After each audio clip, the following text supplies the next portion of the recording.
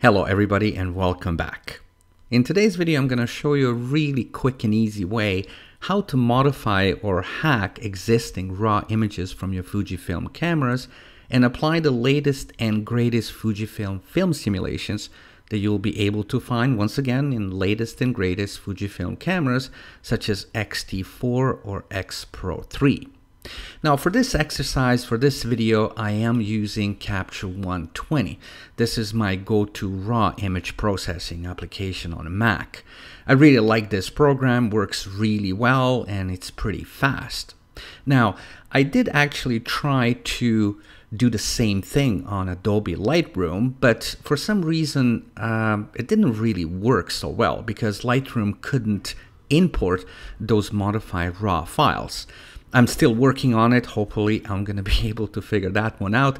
But again, for today's exercise, we're going to be using Capture One 20.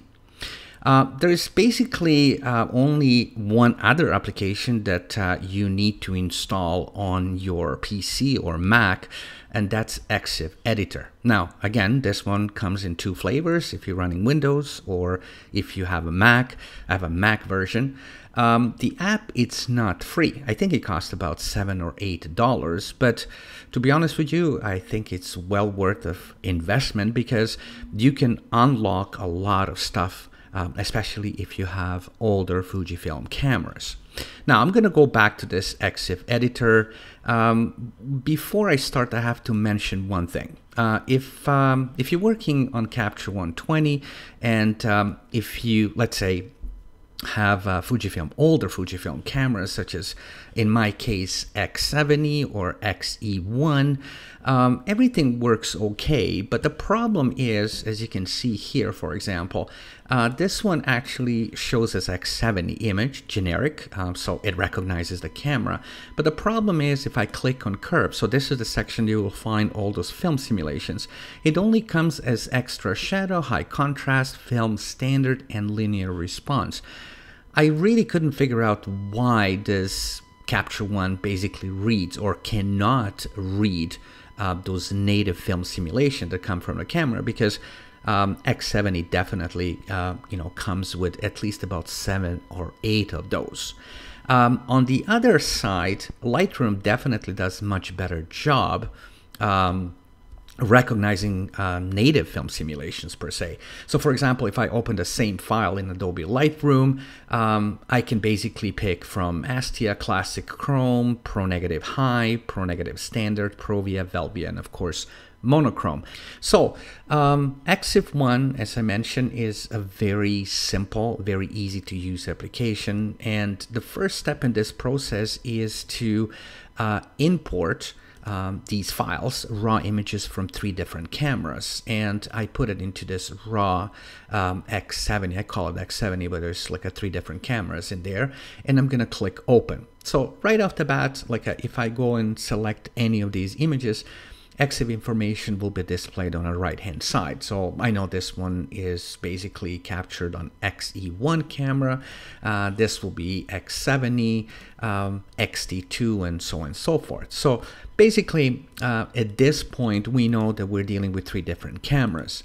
Uh, one thing I have to mention about EXIF Editor, uh, you can modify a single file or you can do batch process. Batch process is really cool because if you import a large number of files, let's say 100 or 200, uh, you can apply the settings basically to all of them just with one click of a button. So that's really, really cool.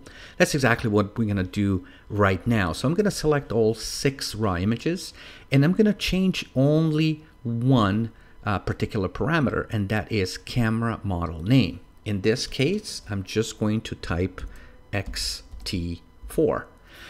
So right now I'm going to click process. Um, application is pretty fast. These are the results and that will be pretty much it. Now, if I click on any of these images, as you can see, it reads XT4. So basically that will be it uh, from EXIF Editor. You don't need to do anything else. I'm going to minimize and I'm going to go back to my Capture One.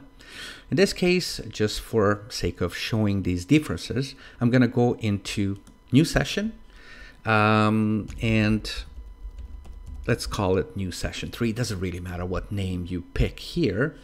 And I'm going to import those same files. Now, we're dealing with modified files, uh, those that we change the camera name.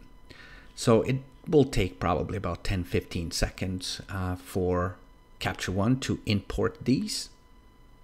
And here we are, so we're done. So I'm going to click again on the same image that uh, you know we, we had before. But this time, if I click on ICC profile, as you can see, uh, X70 is gone and it's replaced with XT4 generic. So first step, it's pretty successful. Now, Curve is the one that basically shows all film simulations. And if I click on that, here we are. Right now, we have all film simulation color profiles that you will find in latest X-T4 Fujifilm camera. Um, Acros, of course, that's not native to X70 camera. We can pick that. Uh, we have classic negative, we have Eterna cinema, uh, Eterna bleach bypass, and so on and so forth. So basically, at this point, we can apply any of those uh, color profiles to our X70 um, raw images. Uh, I can do the same thing, like if I pick this image from XE1, of course, again, it's showing XT4. And right now I can, for example, apply, um, you know, Eterna Cinema. Anyway, that's pretty much it, guys. Um, I hope you find this video informative and helpful. If you have any question, put it down in the comment section and I'll be happy to respond. Once again, um, thanks for watching and I'll see you next one. Cheers.